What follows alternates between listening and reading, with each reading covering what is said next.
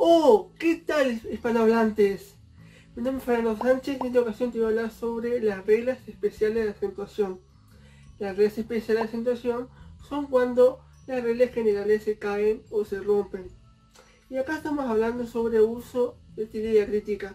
La tilde crítica es, son palabras con igual forma pero con distintos significados. Por ejemplo, de del verbo dar y de, de, la preposición. Un ejemplo es esta, oración.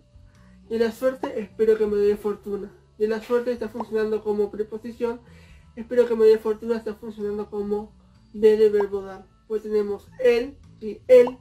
Que él es el, es el artículo y él es el pronombre en tercera persona. En esta oración vemos un caso. El puente está colapsado, pero él me dijo que vaya igual. El puente colapsado está funcionando como artículo, pero me dijo que vaya igual, está funcionando como pronombre de esa persona.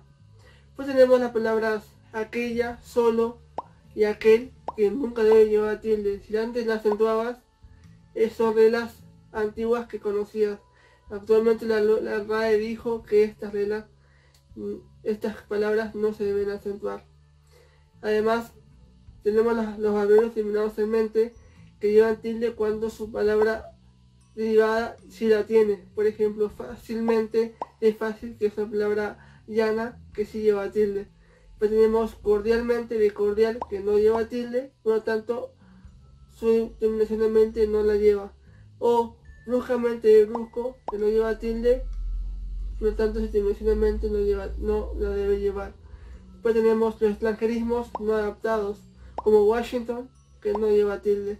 Las palabras extranjeras que sí llevan tilde son palabras que sí fueron adaptados, por ejemplo, fútbol, de fútbol en inglés, que sí lleva tilde, que es una palabra grave.